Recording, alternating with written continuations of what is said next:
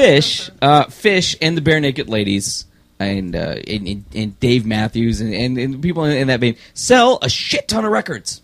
They, they, they and, and their concerts are always packed, and, and and and people go to see them uh, in droves, and they don't have anything to, to put on the radio.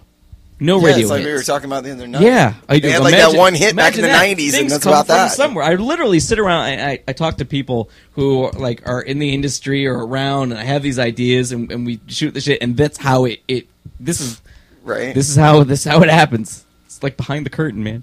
Um, no, it, yeah, they, they they don't have that. They they don't sell records or, or singles, and people steal their stuff. Like you know, people download Dave Matthews concert, or he gives it away for free, or Barenaked Ladies sell their own bootlegs. Like I saw them in Orlando, and for five dollars, I bought the concert in the audio format that I downloaded. Um, so they, they've got people not paying for their music, uh, and and yet they're making money because their fans are loyal. It's all ticket sales They're now. buying T-shirts. They're they're, they're buying tickets. It's a revenue stream that it, it, it's it's all its own. Like you don't you don't want to take a square peg and make it fit into a round hole. You want to you want to make sure that you know the size of the hole and find the appropriate plug, and then get paid for plugging the hole. That is also sexual. Yes. Talking about the music business, people. Are you? Um, maybe we know the big music can do top forty. You, if you're top forty, if, if, if, if you're Katy Perry, if you're Sean Kingston, you've got you've got that. Go to big music. If you're Lady Gaga, there's no other spot to go but to big music to, to push your stuff. I mean, if I were running a business like they're doing, and I see something that I'm not selling that people want, i.e., if I'm selling cocaine and everybody wants crack, and I'm just a pure businessman with no morals at all, I would look and say, well, Hmm.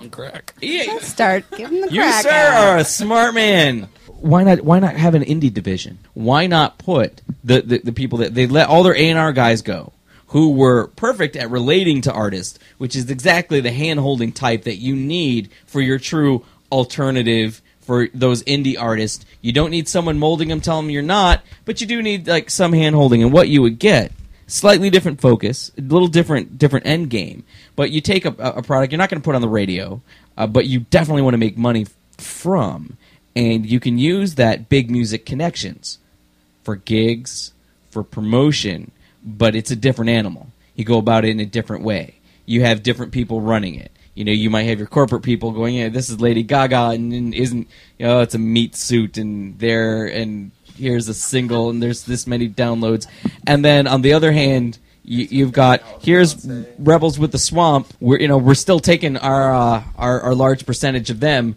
but and, and they're, they're not selling. Uh, they're not going to put them in stadiums. You're never going to hear them on the radio. Uh, they will steadily tour, sell their albums. They've got a great web presence. We've got them playing at several festivals, which you never would have had happen unless you bought, begged, and then gave somebody uh, something intimate in exchange Peg in a hole, peg in a from your hole. own selves. Right. It's like you'd have to perform the shake weight on an executive to get some of those things. But Right. uh, in the alternative, uh, if there was an indie division, then you could actually have you know, that that revenue stream. You, the the people that are running indie labels, God bless their hearts for for putting. And I've seen so many people, you know, have their own label and they just pour Right. mu- uh, so much of their of, of their own money and calling on the phone trying to get their bands booked and and and sell and distribute and it still falls back on the band which then prohibits you from being as creative and writing as much as you'd like to because you're busy doing all of the administrative stuff that comes along with it that you absolutely have to do and the last Right. thing on your list unfortunately is write something someone will like to listen to We're musicians and artists. What the hell were we doing trying to handle the business aspect of running a band?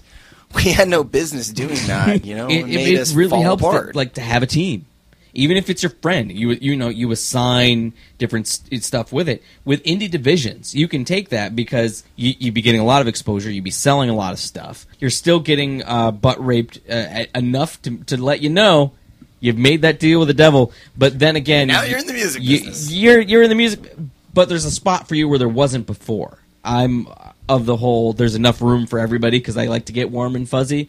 Mostly when I drink scotch. Scotch, scotch, scotch. Dumb.